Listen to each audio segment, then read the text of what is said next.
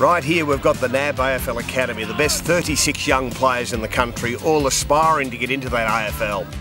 There's some wonderful synergies between the NAB AFL Academy and the IMG Academy. Both represent excellence at the highest level.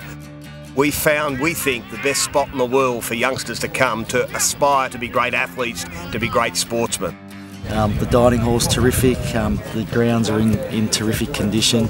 Um, everything about it um, is absolutely elite. We've had sessions with uh, Loren at Seagrave, um, and Loren, and no doubt Beanie and, and, Joyce through through working with him, just had such a, an enthusiasm for their for their craft and their and their profession. I think our boys got a lot out of that.